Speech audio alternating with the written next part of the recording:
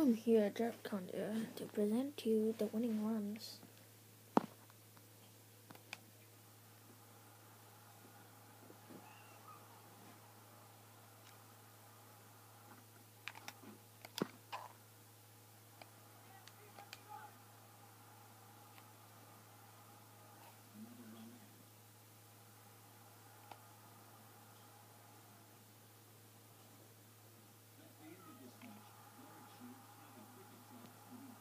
Man of the match to Jared Kondia.